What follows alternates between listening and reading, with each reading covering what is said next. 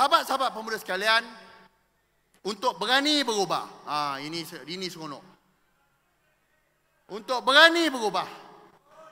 Dengan izin Tuan Pengurusi Tetap, we must address the real issue. Jangan besok cakap dengan bos, bos semua okey, bos semua okey. No way, man. Kita mesti bagi tahu perkara yang sebenar. Ini baru cara kita. Bila kita bagi tahu perkara sebenar, bukan kita nak gaduh. Sebab kita sayang. Kita nak perbaiki kelemahan kita.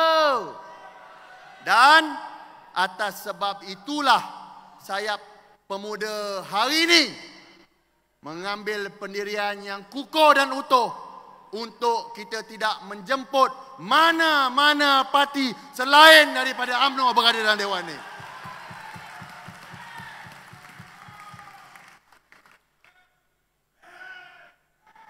kita tak mahu jemput bukan sebab kita tak mahu bersama. Tapi kita percaya ini adalah perhimpunan yang pertama selepas pertubuhan kerajaan perpaduan. Dan saya pasti ada perkara yang perlu kita selesaikan terlebih dahulu di peringkat adik-beradik kita. Betul?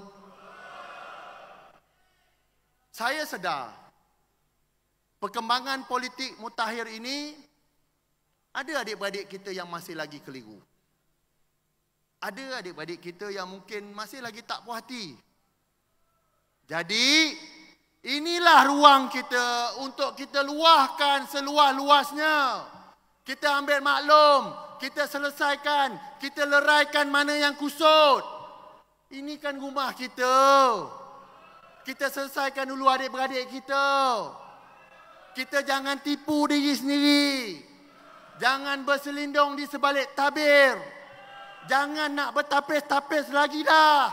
Jangan nak berlapik-lapik lagi dah. Kita orang muda. Mental kena kuat. Jiwa kena kental. Jangan cepat koyak.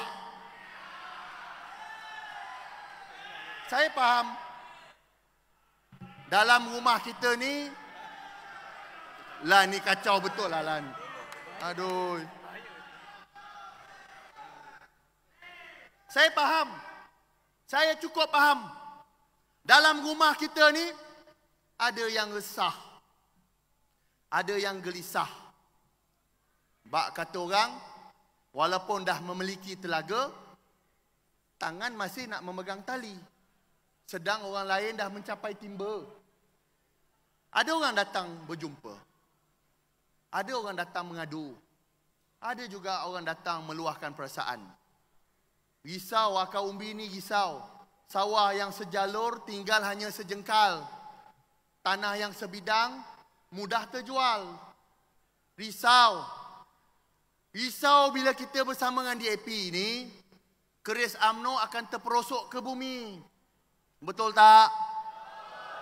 Akar umbi ini risau. Bila bersama dengan DAP ini, AMNO diam terbisu, kampung tergadai. Betul tak? Itu bahasa yang penuh berkias. Pemuda cakap direct aja, senang. Bahasa mudahnya, akar umbi ni risau ni Datuk Seri. Risau. Bila bersama dengan DAP, AMNO ni boleh ke lagi tak bercakap pasal hak Melayu dan istimewa orang Melayu. Betul tak? Akar umbi ni risau bila UMNO dah bersama dengan DAP, UMNO tak boleh bercakap soal kedaulatan raja-raja. Akar umbi ni risau. Bila kita duduk dengan DAP, UMNO tak boleh lagi nak bercakap soal tuntut isu agama, bangsa dan pendidikan orang Melayu. Dan yang paling orang akar umbi takut, bila UMNO bersama dengan DAP, akar umbi ini takut bahawa UMNO kena patuh dan ikut telunjuk DAP. Inilah sebenarnya orang UMNO risau.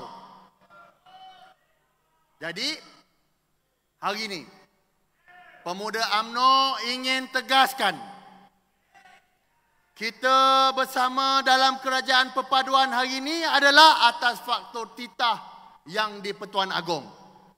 Demi untuk kestabilan negara kita. Kita bersama dengan kerajaan hari ini adalah untuk kita kongsi ruang pentadbiran tetapi bukan ruang pemahaman. Kita rentas politik kepartian tapi kita sempadankan prinsip perjuangan kita. Dan hey, aku nak beritahu. Kalau ada orang yang berani melintas prinsip perjuangan ini, pemuda AMNO yang pertama akan datang mencantas orang tu.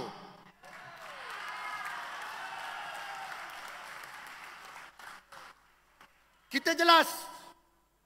Kita jelas.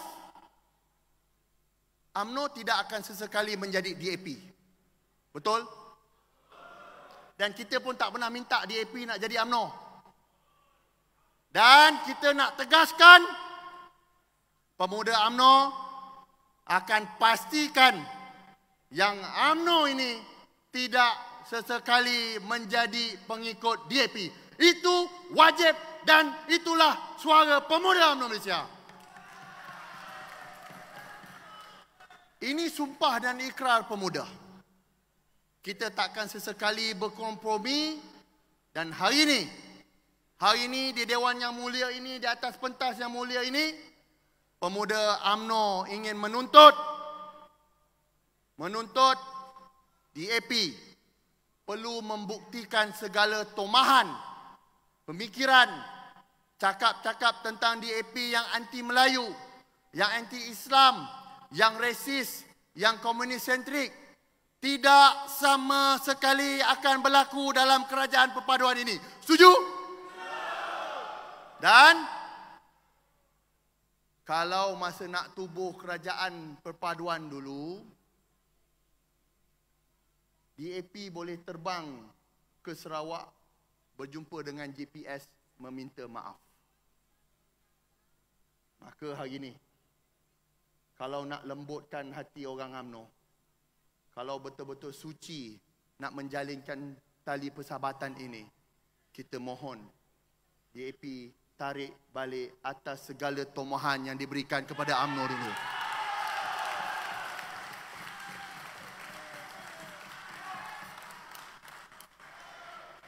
Kalau jujur, kenapa dengan GPS boleh buat, kenapa bukan dengan kita?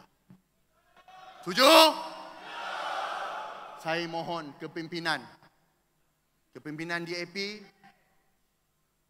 kalau nak menempuh pilihan raya yang akan datang ini, mahu hati orang AMNO ini lembut. Maka satu tuntutan maaf daripada DAP atas tomahan yang telah diberikan kepada AMNO selama ini mesti dilakukan segera. Dan inilah cara kita. Kita tak ada selindung lagi. Kita kena jujur apa yang kita junjung. Inilah luahan hati daripada akar umbi. Kita tak nak cakap benda yang baik saja. Kena kena cakap apakah realiti yang berlaku di bawah ini supaya kita dapat selesaikan perkara pokok ni.